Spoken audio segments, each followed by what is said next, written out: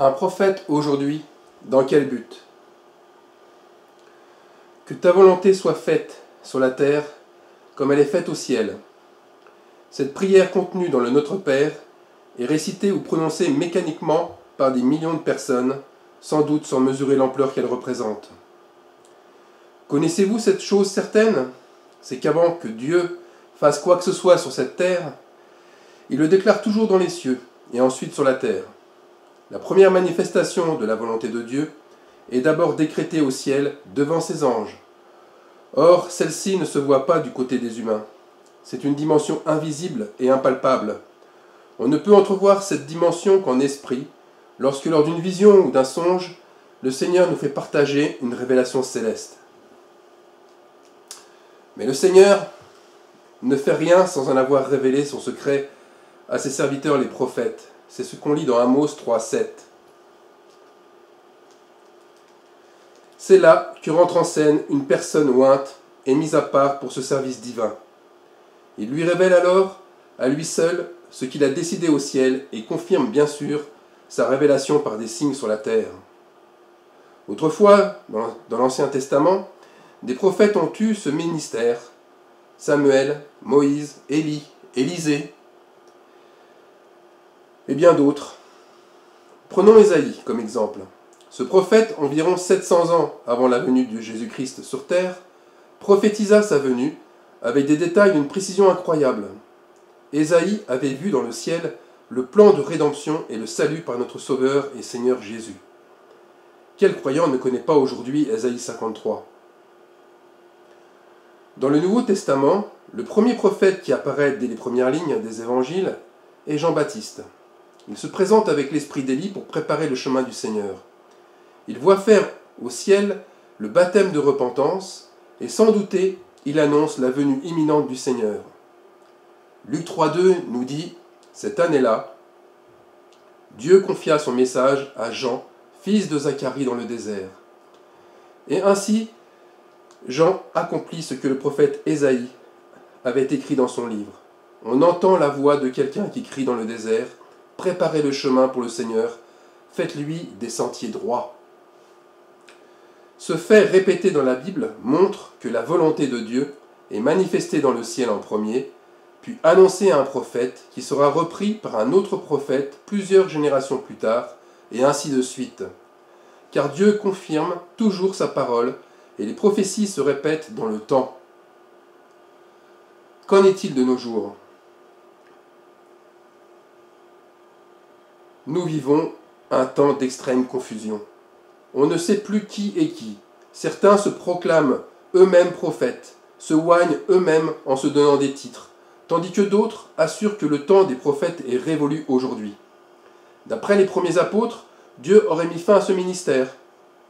D'autres encore pensent que le don de prophétie suffit à l'Église, que le Saint-Esprit se suffit à lui-même pour tout enseigner, et que tous ceux qui ont un ministère de prophète sont en fait de faux prophètes.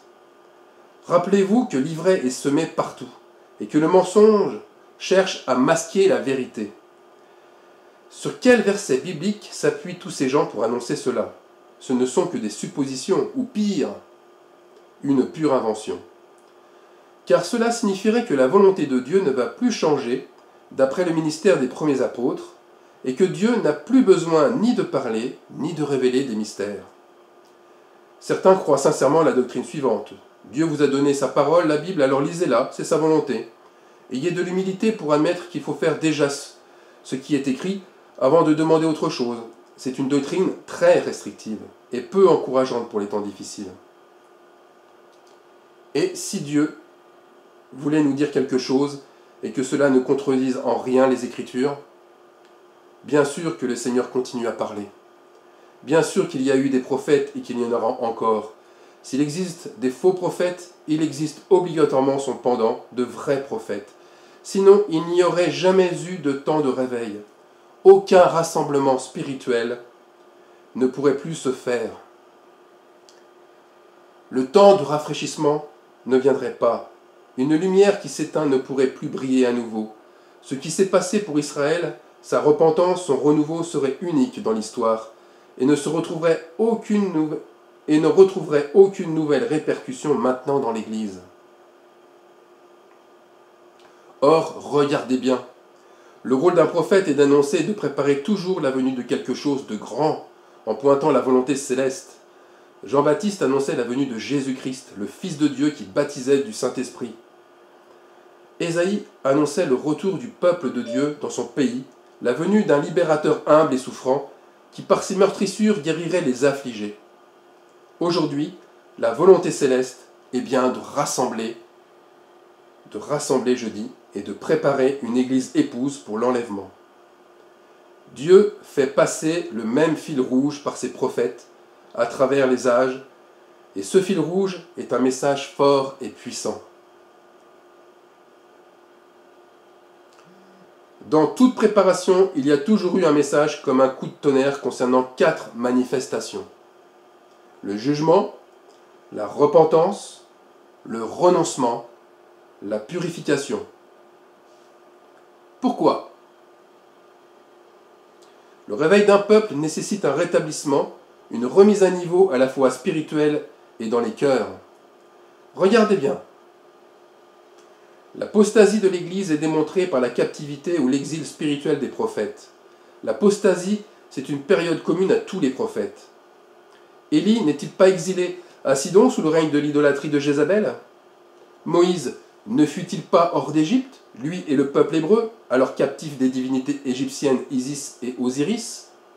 Samuel ne se réveille-t-il pas pendant une période très sombre, où les visions et la parole du Seigneur se font rares? On lit ça dans 1 Samuel 3.1.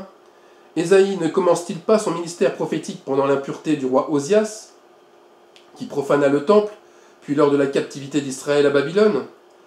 Daniel de la tribu de Juda n'est-il pas captif avec elle à Babylone? Jean le Baptiste, enfin, ne se révèle-t-il pas après un désert spirituel de 400 ans, où il n'y a pas eu de prophète, ni d'ange, ni de vision, depuis le prophète Malachie? Le réveil spirituel nécessite de retrouver la nourriture dévorée par les démons. Les démons, ces esprits méchants et dominateurs. Le prophète Joël prend l'image d'animaux, d'insectes, d'insectes nuisibles qui dévorent ce que Dieu a construit pour en faire une ruine. C'est la vision de Joël qu'on lit dans le chapitre 2 au verset 25 dans la Bible Martin, il est écrit Ce sont les fruits mangés par la sauterelle, par le urbec, le vermisseau et le hanneton. Ces fruits, comme mangés, sont par la sauterelle, des fruits de jugement, par le urbec, la repentance, par le vermisseau, le renoncement, et par le hanneton, la purification. La sauterelle a mangé les récoltes. Elle mange les récoltes, la sauterelle. Elle a créé une famine en mangeant la bonne nourriture le peuple de Dieu n'a plus la nourriture dont il a besoin. Retrouver cette nourriture nécessite de faire un tri entre la bonne et la mauvaise nourriture. Ce tri est fait par un jugement qui sépare ce qui est sain de ce qui est vil. Le urbec est la chenille de la vigne. Elle mange les feuilles et empêche la vigne de porter du fruit. Le manque de repentance est la première cause du manque de fruits dans les églises. Le ver et le hanneton vont s'attaquer à la racine même de la plante. Notre racine, c'est le, le Seigneur lui-même, le Saint-Esprit, notre fondement. Sans renoncement, sans sacrifice, on ne peut avoir de profondeur dans sa vie de foi. Nos racines tirent leur force dans la purification aussi. Un croyant fort, c'est un croyant mature, donc purifié par le Seigneur. Une confirmation de plus au sujet du fil rouge des prophètes se trouve dans Malachie 4, versets 5 et 6. Voici, je vous enverrai Élie le prophète avant que le jour de l'Éternel arrive, ce grand jour est redoutable, il ramènera le cœur des pères à leurs enfants, et le cœur des enfants à leurs pères, de peur que je vienne frapper le pays d'interdit. Là aussi, on peut discerner les quatre temps forts du message prophétique. Le jugement, qui est le jour de l'Éternel, jour important et redoutable, car annonciateur d'un châtiment, d'une malédiction, on voit bien qu'au verset 6, de peur que je vienne frapper le pays interdit. La repentance, elle, se traduit de manière différente, puisque Élie ramènera le cœur des pères à leurs enfants. On peut le traduire par Élie convertira le cœur des pères à leurs enfants. On lit ça dans la traduction de la Bible Martin. Le renoncement se traduit dans le fait de s'éloigner du péché pour des pères qui retrouvent un cœur d'enfant, un cœur innocent. Et la purification provient du jugement qui anéantit les méchants et délivre les repentants. Si on reprend Malachie au verset 3, ce n'est pas écrit ici, mais au verset 3, il est écrit Vous foulerez les méchants, car ils seront comme de la cendre sous la plante de vos pieds. Jean-Baptiste lui aussi confirme les quatre messages prophétiques. À la foule qui venait se faire baptiser, il n'hésitait pas à parler de la colère de Dieu et des jugements à venir. Race de vipères, qui vous a averti de la colère à venir? Or, la cognée est déjà mise à la racine des arbres. Tout arbre donc qui ne fait point de bons fruits s'en va être coupé et jeté au feu.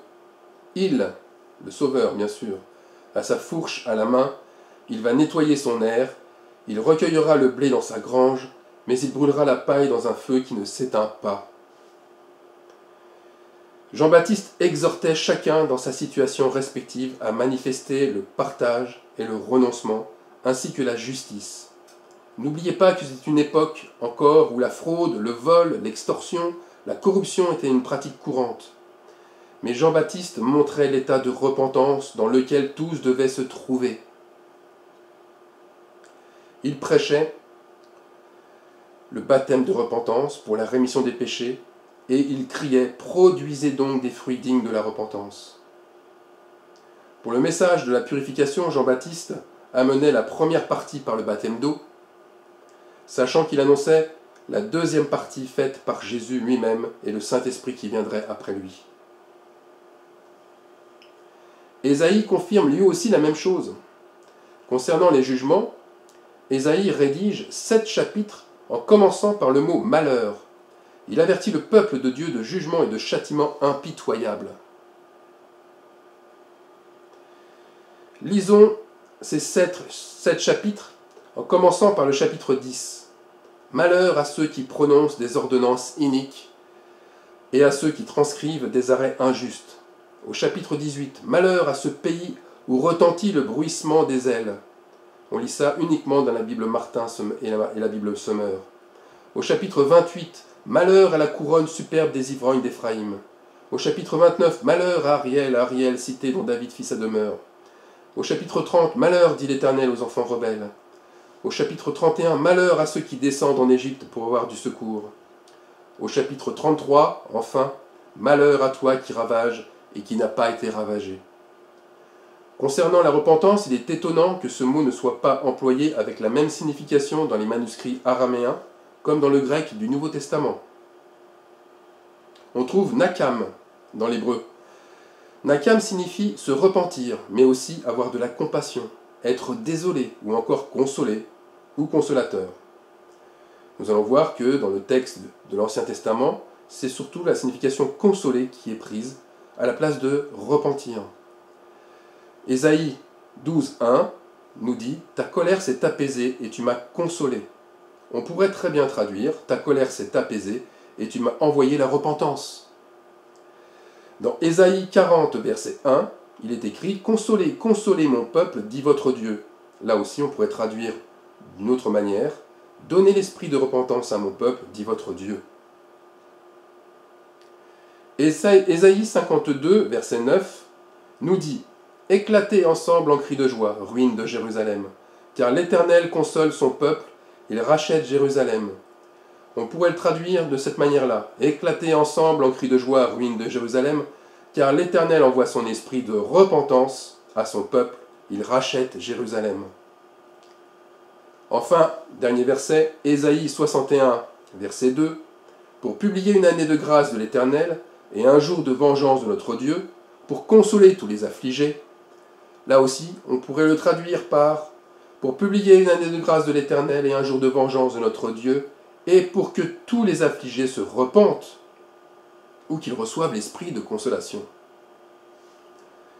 Pour le renoncement, dès le premier chapitre, Ésaïe exhorte le peuple de Dieu. L'Éternel est en colère contre de faux sacrifices et un renoncement inique Au verset 11, on peut lire Qu'ai-je à faire de la multitude de vos sacrifices? L'Éternel demande un vrai sacrifice à son peuple, de rechercher sa, justice, de faire le bien en protégeant l'opprimé, en faisant droit à l'orphelin, en défendant la veuve, et de se détourner du mal et de la méchanceté. Enfin, la purification. La purification, le message est clair, on peut le lire dans Ésaïe 1, verset 16. Vos mains sont pleines de sang, lavez-vous, purifiez-vous. Ce n'est donc pas un hasard si tous les prophètes étaient animés d'un même message, et la Bible nous en fait part pour reconnaître leur voix.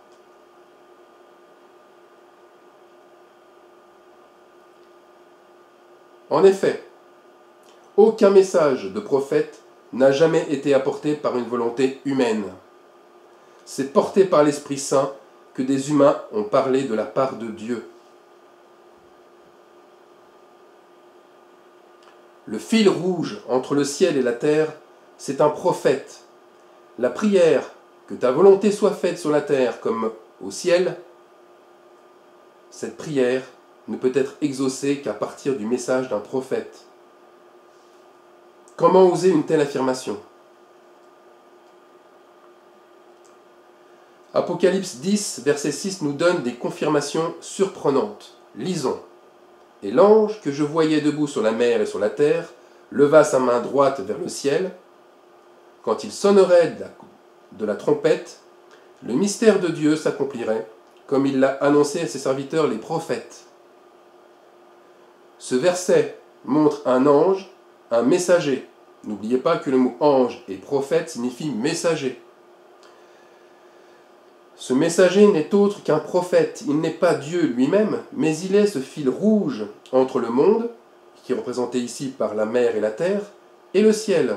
Et quand il parle, sa voix résonne comme une trompette qui annonce le mystère de Dieu. Ce prophète, qui n'est autre qu'un archange, un super messager, par sa voix, il annoncera le mystère de Dieu qui est, et là je vous demande de vous accrocher, la seconde venue du Seigneur. Prenons pour finir 1 Thessaloniciens 4,16 Car le Seigneur lui-même a un signal donné, à la voix d'un archange et au son de la trompette de Dieu, descendra du ciel.